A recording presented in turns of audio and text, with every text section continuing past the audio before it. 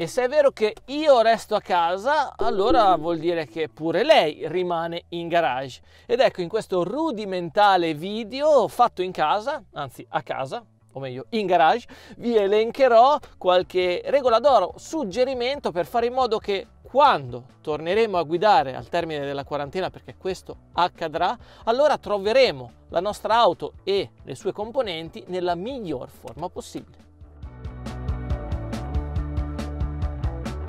Batteria.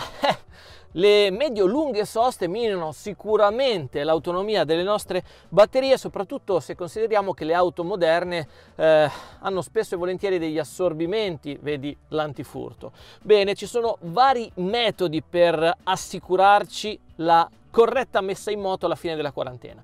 Il primo, quello che preferisco, è servirsi di un mantenitore di carica. Certamente bisogna già averlo o ordinarlo, sperando nelle scorte, ad esempio eh, su Amazon o quant'altro, poiché eh, come sappiamo non è un bene di primissima necessità.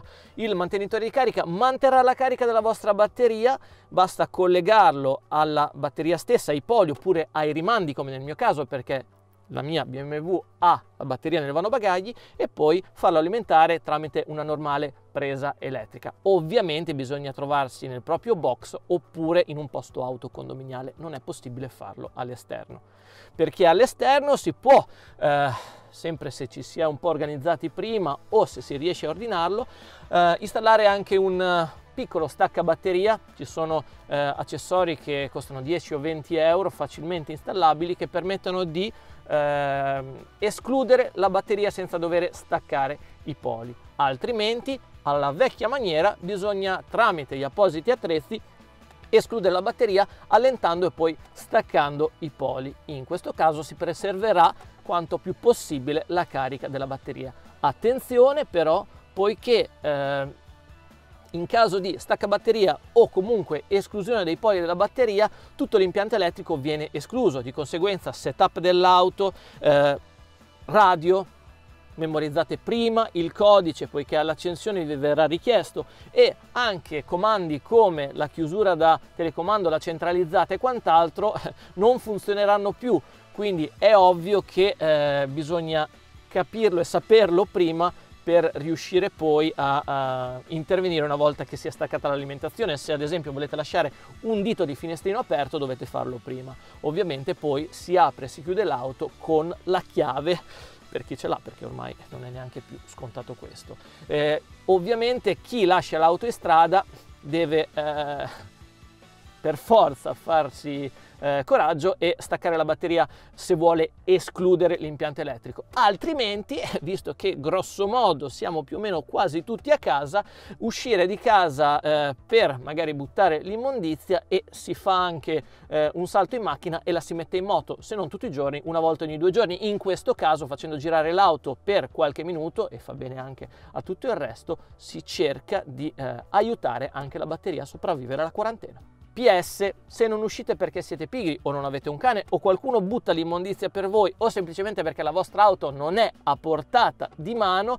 mettete in conto di doverla mettere in moto con un booster un domani, ovvero una batteria portatile che tramite cavo vi darà quel quid in più, anzi quel quid necessario per la prima accensione. Qualora non bastasse il booster, allora bisognerà cambiare batteria, mi sa.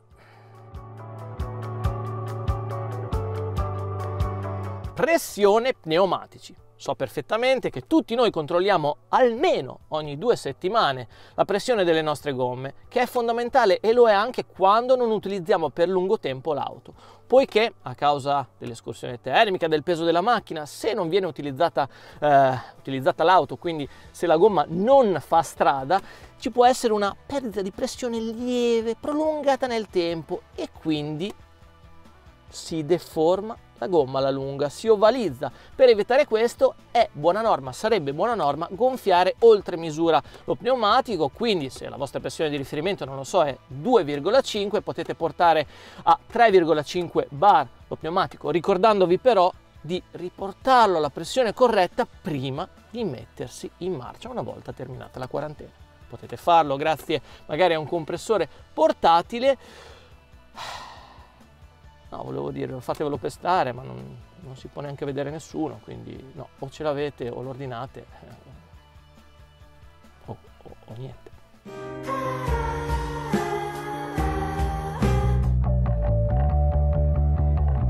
Protezione dell'auto. Allora, se voi siete forniti di un bel box per un periodo di quarantena che si spera non sarà lunghissimo, potete anche lasciare la macchina senza telo. Ci sono poi eh, teli molto sottili di plastica, come quelli che vengono utilizzati per coprire i mobili, magari quando si fa un lavoro interno a un'abitazione. Possono essere sufficienti per tenere lontana la polvere, oppure se siete premium eh, sarete sicuramente forniti di teli felpati molto soft per uso interno mentre se l'auto sta all'esterno allora la protezione da umidità, caldo, freddo, intemperie, acqua, grandine, speriamo di no in questo periodo perché sarebbe veramente drammatico, ecco allora lì si necessita di teli fatti in maniera diversa con una consistenza e un costo anche differente. Credo che però farò un video a riguardo. Poi c'è anche una schiera di persone che ritengono che in garage il telo di plastica è meglio non utilizzarlo perché la polvere che si deposita al di sotto poi fa attrito con la plastica e potrebbe graffiarsi la carrozzeria. Anche questa potrebbe essere una bella tematica da affrontare, anzi scrivetemi nei commenti cosa ne pensate a riguardo perché la vorrò approfondire.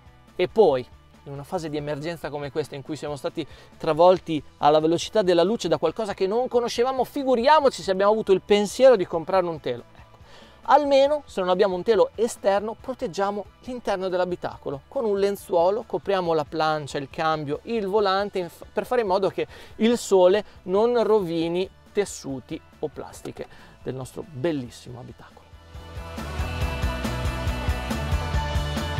Finestrini. Eh, piccola nota di costume eh, se siamo nel nostro box privato oppure se siamo nel parcheggio condominiale coperto di persone che conosciamo da un sacco, di cui ci fidiamo, lasciamo un dito, i finestrini anteriori o posteriori, fate voi, aperti in maniera tale che ci sia un ricircolo naturale dell'aria, mentre se lasciamo l'auto all'esterno, chiusura ermetica e via così. Posizione del cambio e frenatura in generale. Se vi trovate in un ambiente protetto e rassicurante come il vostro box, che è anche perfettamente in piano, il cambio con una marcia inserita è sufficiente per tenere bloccata la vostra autovettura. Se non siete proprio sicuri che il vostro box sia in piano o qualunque cosa, potete applicare dei fermi a una ruota con un mattoncino e un pezzo di legno e sarete tranquilli. Non azionate anche il freno a mano. Diverso è il discorso se eh, la vostra auto è parcheggiata all'esterno. Non abbiamo avuto modo magari di eh, cercare, trovare il parcheggio perfetto, quello che ci piace tanto.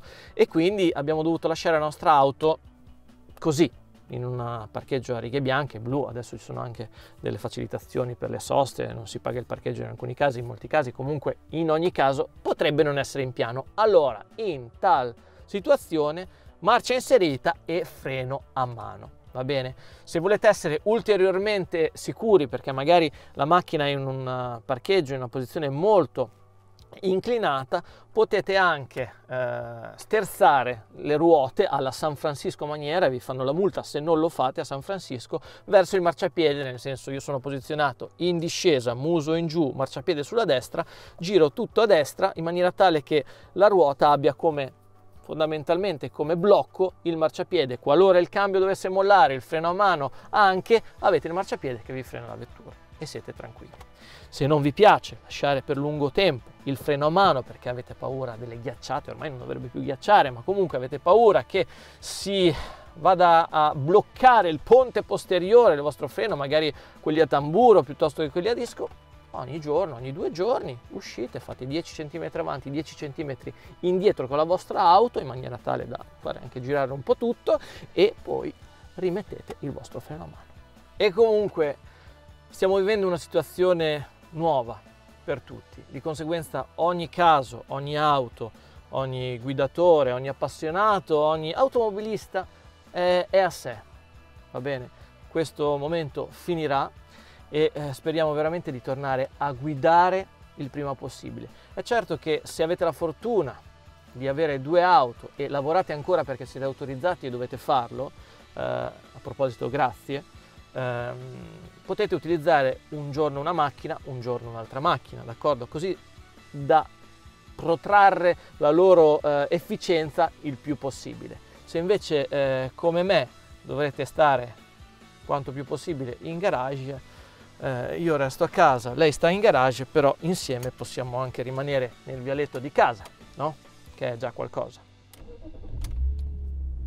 Ciao. Andiamo.